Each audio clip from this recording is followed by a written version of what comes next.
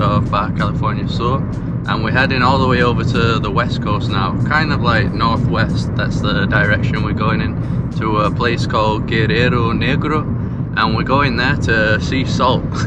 apparently there's a lot of uh, salt there like salt flats stuff like that. And we're also going to be doing a tour. So yeah something a bit different from the beaches and to get there it's quite a bit of driving. It's like three hours and 30 minutes but it's all just one road so there's no turns or anything. Just one straight highway road all the way there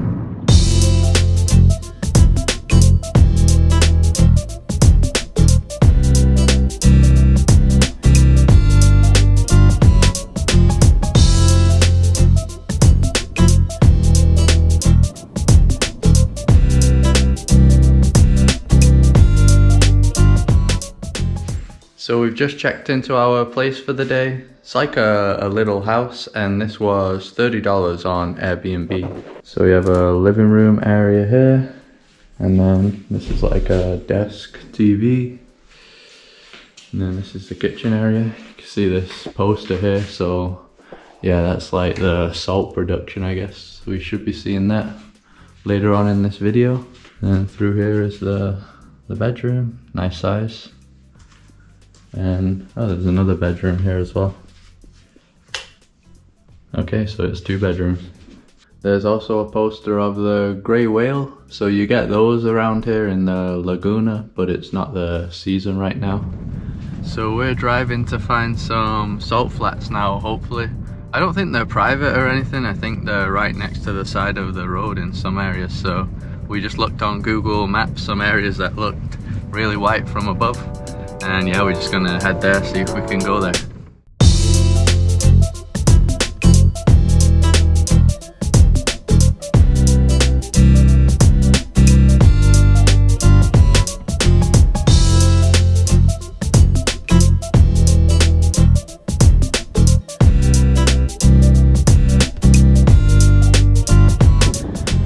So we found one of the many salt flats around here it's really close. It was only like, um, I don't know, like 10, 12 minutes drive from the, the main center of the town. And even on the road, as you're approaching, you already start seeing like patches of salt on the ground. So this one looks really huge.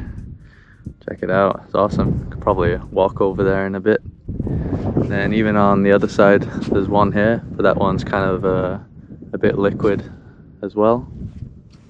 Just Gonna jump in the swimming pool. Well, the water looks beautiful, I mean the color, but I don't think it's clean. It's probably no? too salty. too salty, like the, what is it, Dead Sea in Israel. Yeah, this part down here is way cooler because you get the bright blue little pools, but right in the salt. Wow, that looks amazing. Looks like snow. Yeah. I wonder if we can walk there do you think? Where? You, go first. Well. Well, not here. no, not Maybe over there. over there. Yeah, possibly. Let me see. I think uh, I can see tracks. Oh no, this is really hard. Wow, that is beautiful though. It does look like some beautiful natural pool to, to swim in. Maybe you can swim in it, I don't know. I mean, it's like pure salt, but I don't know if it would cause you any issues if you'd swim quickly. I'm definitely not doing it as well, especially in this cold.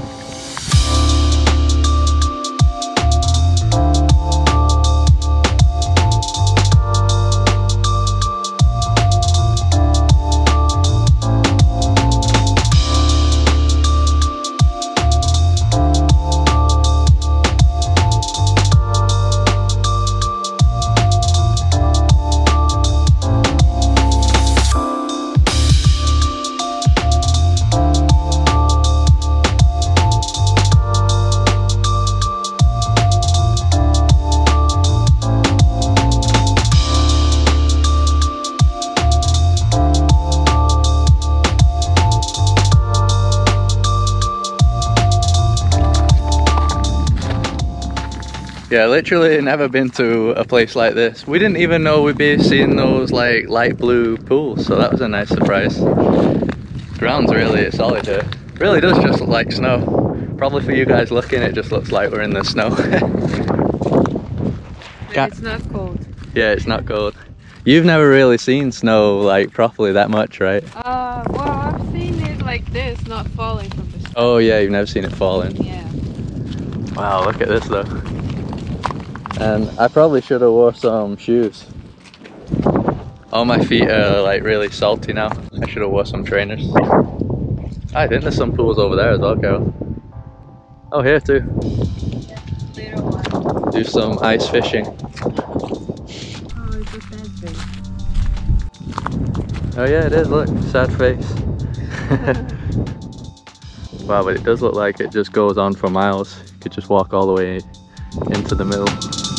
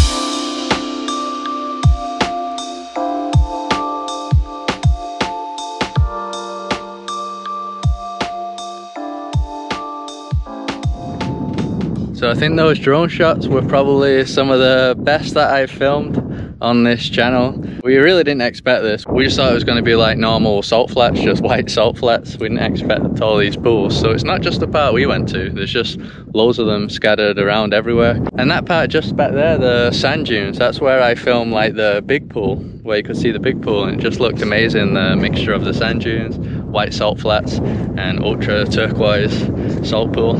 And now I think we're gonna head to some sand dunes. There's some sand dunes near here, so yeah, we thought we might as well check them out.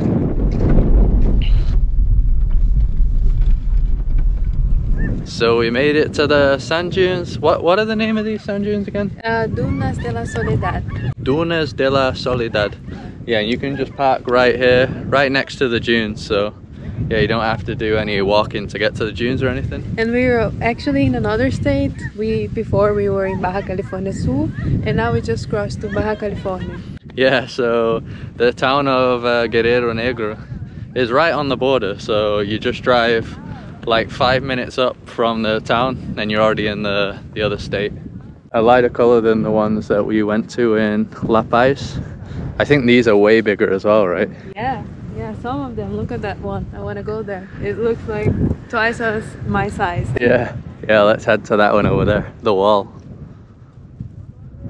Yeah, and it's cool because look, it's right on the the ocean as well. So sand dunes blend into the ocean.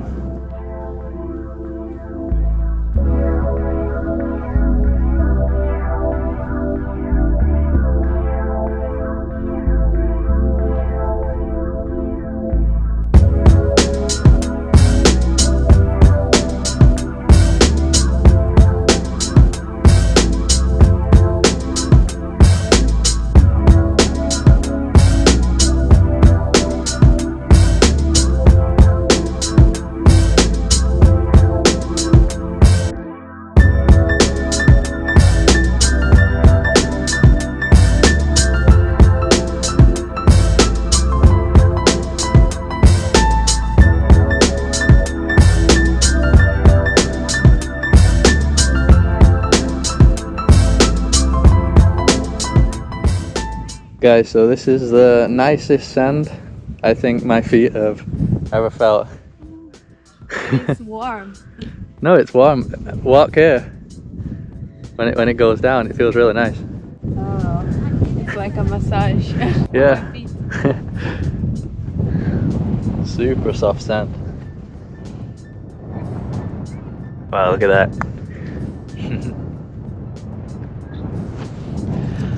So on Google Maps, I could see an island that's just down there on the coast. And it looked like a sand dune island. Like the whole island just looked like a bunch of sand dunes. So yeah that'd be an incredible place to visit. I don't know if you can visit there. Yeah we're deep into the the sand dunes now. Probably the easiest sand dunes I've ever walked on because of the temperature. It's like not warm at all. The wind is really cold re really strong every time I've walked on sand dunes before in the past it's always been like scorching hot so yeah that's nice as well definitely not going to walk the whole thing I can see it goes all the way back there somewhere no chance hey Kyle, I wonder if we're no longer tropical rainforest people we're turning into desert people now Oh, I don't know. Yeah, uh, of course we love beaches, but we also love desert. I think. I guess we just love different kind of things. That's why we keep jumping places. yeah. And I guess uh, since we've enjoyed Baja California so so much, we need to find another like dry location like this in the world to visit. Yeah, yeah, maybe Morocco. I don't know. Jordan. Jordan. Yeah, there are many options, and we hope we can do that maybe next year. we'll yeah. see.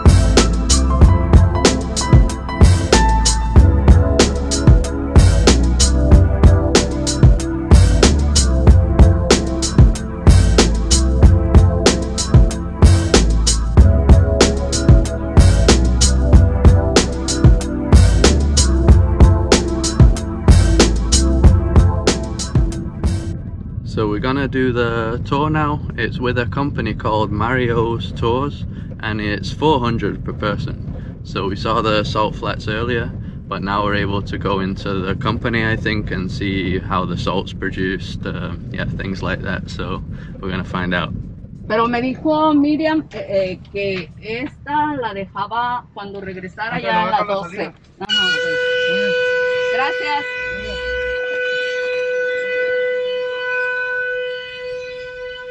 You know what? There, the whistle for What? uh, lunchtime. Lunchtime. They get to go home for lunch okay. and then be back by one o'clock. Start working again. Can definitely hear that whistle. yeah, you can hear all over in town. See, there's a training center there. okay.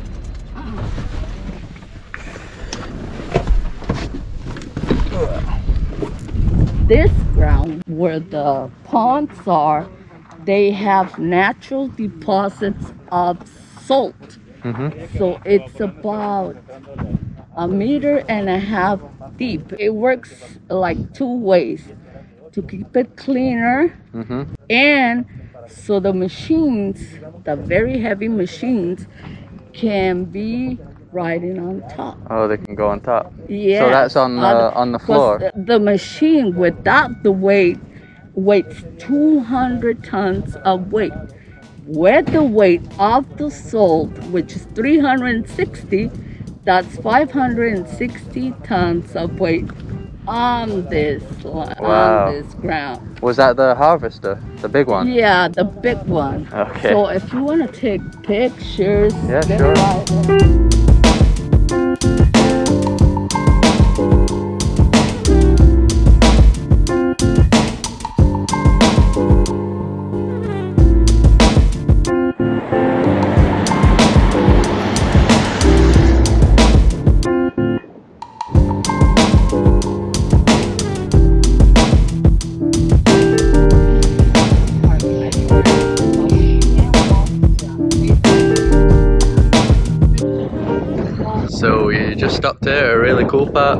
Can see on this side it's uh, a pink shade.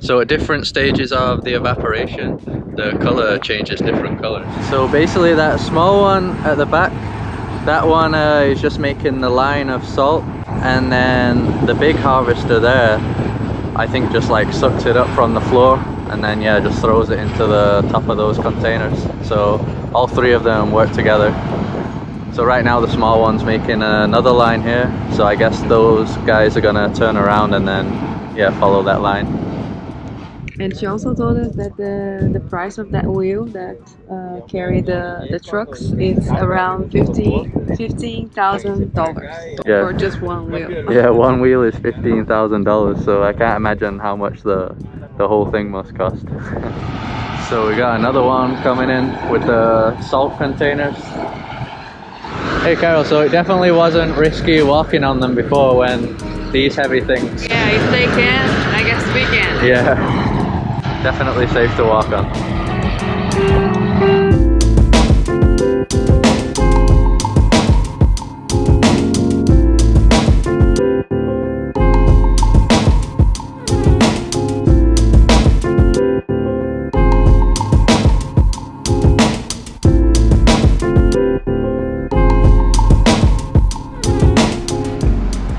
we've now stopped at the wash plant. So we saw the harvesting part and then those orange containers, those trucks, bring it to the wash plant and I guess that's where they wash the salt because if you could see the color of the salt that was going into the container, it was like a brown color, it wasn't pure white.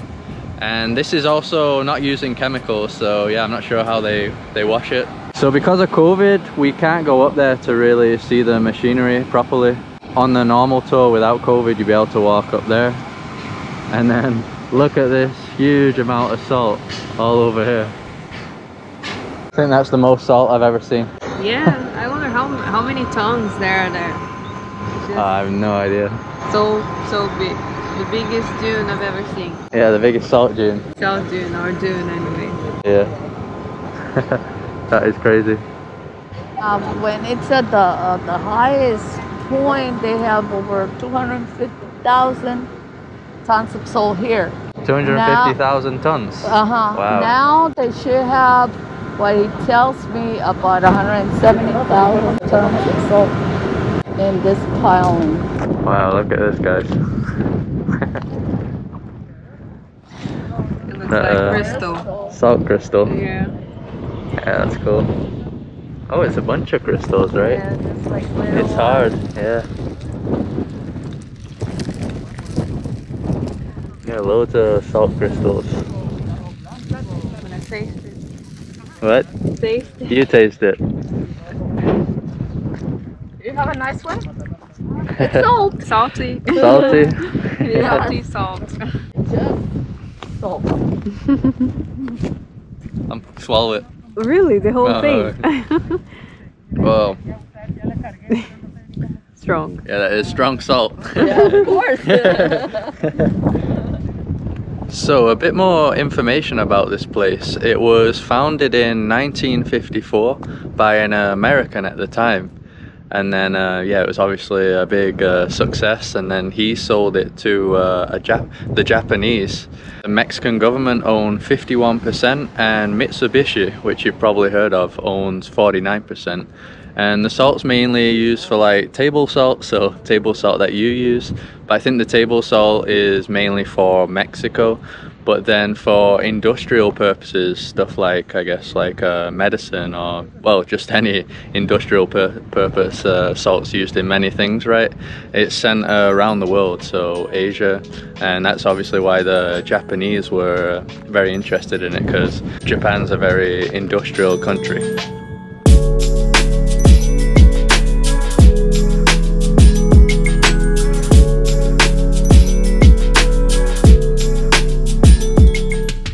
So we've now come to an artificial port that's here, and this is pretty much the final process for the for the salt in this place. So after it goes through the washing machinery over there, it will go on this uh, conveyor belt onto this barge. Can't really see because it's behind, but yeah, it has a huge uh, salt mount on there. And then these tugboats will will take the barge away, and then the salt gets taken to an island that's pretty close. I think it takes ages to get there because of the big, um, yeah, the big barge, big heavy barge. But uh, it's an island called Cedros Island, And then on that island, there'll be like further processing to make the different kinds of salt, right? You have like regular salt, sea salt, fine salt. I think there's five different types overall. And then from there, a cargo ship will come and then just take it all around the, the world to whoever the buyer was.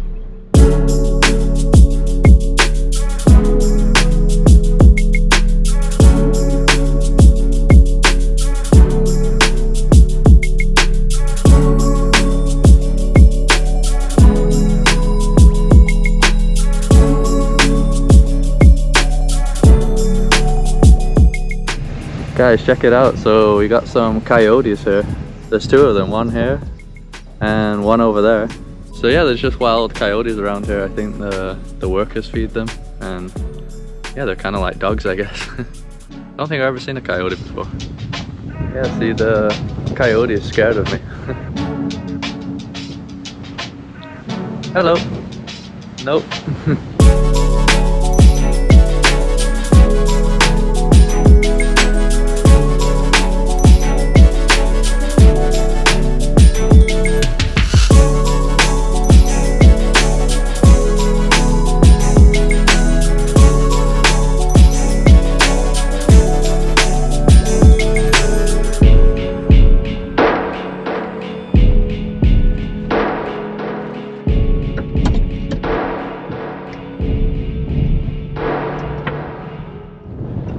final stop's gonna be some salt flats again. Look at the size of these wheels. That must be from the harvester, right? Yeah, probably. The fifteen thousand dollar wheel. Is is that the fifteen thousand dollar wheel? Yes. Yeah. Plus the rim, okay? wow, that's a lot of money right there. Yeah. Maybe we should take one, Carol. Yeah, Make of sell it. so this area is pretty much the same area that me and Carol filmed at the start of this video. I think we're just at the opposite side. So yeah, before we packed all the way down there. And she just told us this is more like uh, wastewater, I think from the operations, like the washing and stuff. So yeah, this isn't for consumption here. I think it's just left here. Yeah, so if you're gonna do the tour, obviously no need to try and find these places on your own. You can just wait for the, the tour to take you. I like the light blue. Yeah. it's like the sky blue, it's the same color as the sky. Yeah. Almost.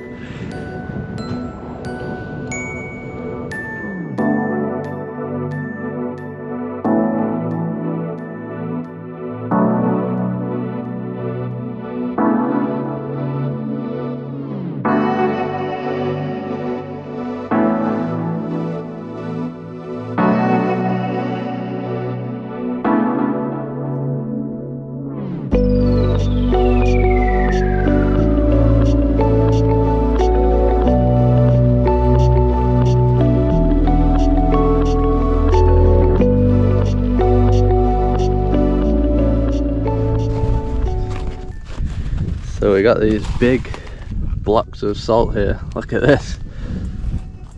The thing's huge. It's really, it's really heavy. Not sure how many kilos that is, but yeah, a lot heavier than I thought.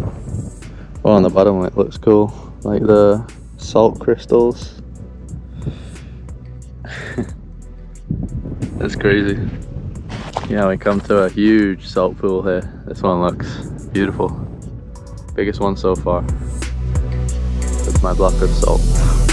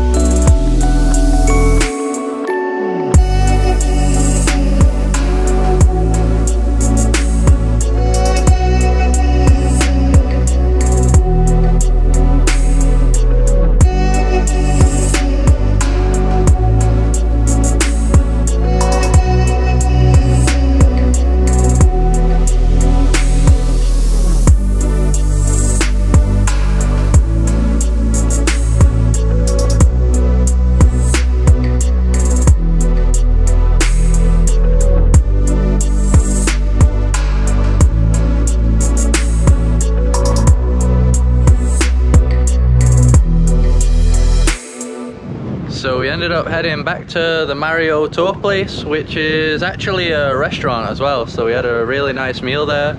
It was just uh, 160 pesos for a really big fish dish. So yeah, really, really good deal. And we've come to like the old pier or the old port here. So this is the original port before they made that one that I showed before. Seems to be loads of like abandoned buildings here from back in the day. And you also have the old abandoned lighthouse here.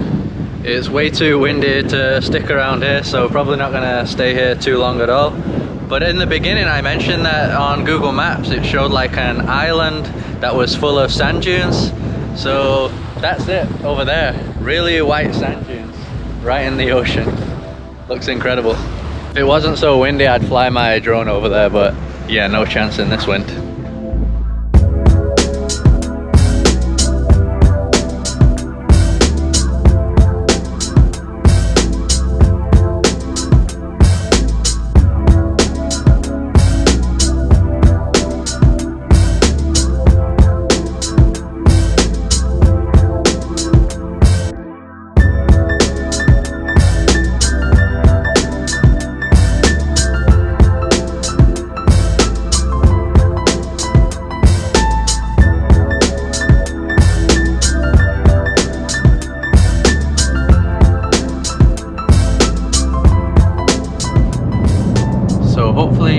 Video, something different compared to our normal travel videos, visiting the largest salt producer in the world.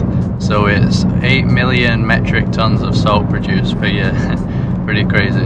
And in the next video we're going to head to a place called La Purísima, which is an oasis town. So in the previous video we visited Mulegé, which is also an oasis town but yeah we're going to go to this one that's even more unknown even more off the beaten path. When we searched online we really couldn't find out anything about this place really.